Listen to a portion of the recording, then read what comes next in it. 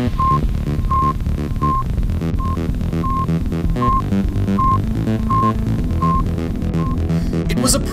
Fest 2015 goal, along with a few other more substantial goals like safe house customization, that being the new female heister, Sydney.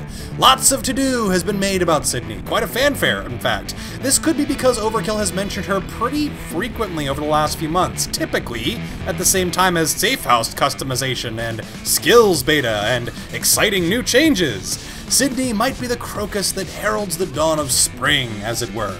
Can't hurt that her voice actress is very pretty. Can I just say at this point that everyone in this game has a very strong jawline? I mean, even John Wick, who I take on good faith is modeled after Keanu Reeves, who has a almost absurdly consistently thin face, even now that he's in his 50s. Even John here has a pretty beefy face. Now, Sydney's model is based off her voice actor, Georgia Van Cuylenburg, and I'm gonna say that the in-game model is pretty representative. That being said, it looks to me that there's a fetish for massive slabs of jaw meat going around Overkill. Or does the engine just not render thin faces well? But then there's Jimmy, so I'm leaning towards all the Overkill model artists being old Polish grandmothers.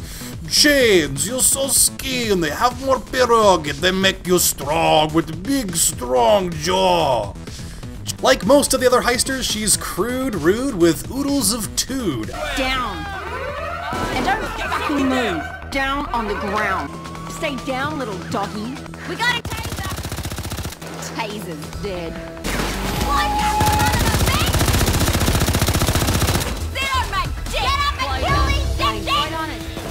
I would call this performance Aussie biker chick with hint of dominatrix. I don't find the performance itself very unique though, and I've heard Australians complain that she doesn't really speak like an Aussie. I don't need dingo, shrimp, kangaroo on the bobby necessarily all the time, and if Sydney was a human being, I could totally say, yeah, she's an Australian, but she doesn't sound like it, and that's alright, but she's the Australian heister in this comic book game. Come on! Throw some more colloquialisms in there. I mean, they might not like it here, but as far as I know, hey, cunt, is how Australians say good morning. After reading an article from Sadir S. Samir about writing the character, it sounds like she was supposed to be crazy on the verge of mental.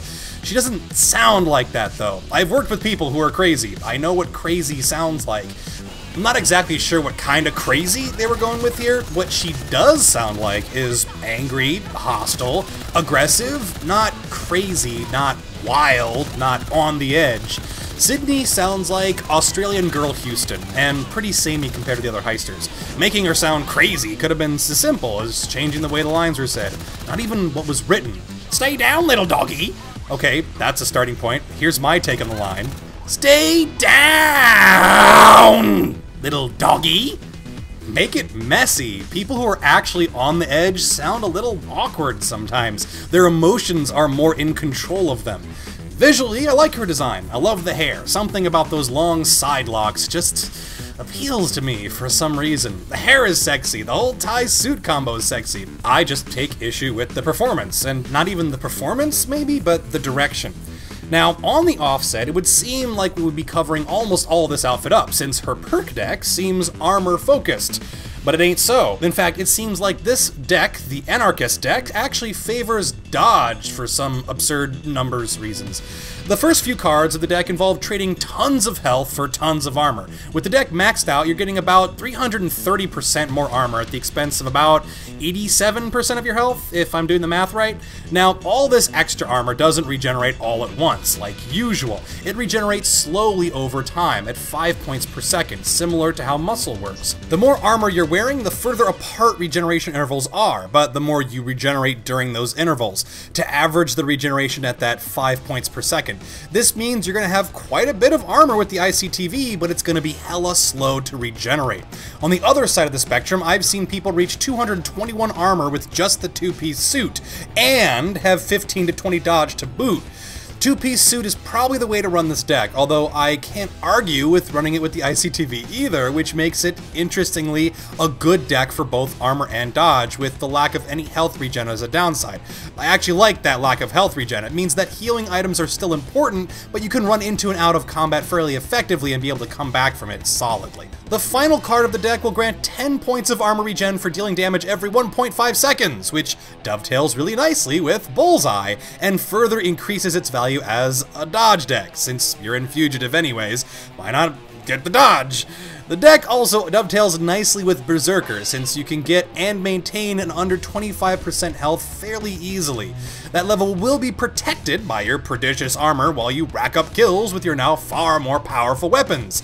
Like the bootleg rifle, which actually isn't that powerful. With laser sights, stability boosts, and the sniper stock, it's stupidly stable, more so than any of the LMGs, at least without the bipod, and it's fairly accurate. Plus, you know, 100 round magazine on an assault rifle. The bullets individually don't pack that much of a punch, however, and I had trouble downing cloakers on overkill. Let's put it that way. On Death Wish, it's not going to be your first choice. People are going to have to carry you while you're using this gun. I can't say what the post-beta changes are going to bring about to this balance, but at this point it's not a good weapon for Death Wish. Its time to kill is too high. But like a lot of these weapons released with the character packs, it's just kind of fun to use. The sights are nice, the reload animation is neat, the little bullets kind of vanished out of the clear magazine, 10 out of 10 for trying. The shooting is a blast, and it is the only assault rifle with a 100 round magazine.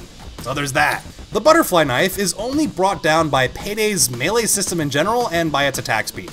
Like Jimmy's double knives, I feel like this knife should have been fast and fluid. I really like the charging up animation where she spins it around like apparently everyone who uses these knives can, and I think the whole attack cycle should look like that.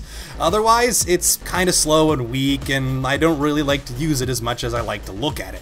Kudos to the animation though, just one step short in the balance. So, was this pack worth $4.99? Despite all the foreplay, no, not really. But if maybe two bucks were shaved off the price, I would say, yeah, probably. After all these heisters being offered for free across from paid heists, I got a little settled in that system. I know work went into this stuff, but this is the 15th heister being offered for a fourth of the original price of the game. It kind of brings up the question, though. The way the little icons are set up on the select screen, Sydney fills out the last slot. So, will there be any more heisters added to the game? I would prefer not, at least for a little while. I say work on the heisters you have now, flesh out Jiro's storyline, maybe put one of the heisters in peril. I want more details on these heisters individually. That would have more value to me than just another pretty face.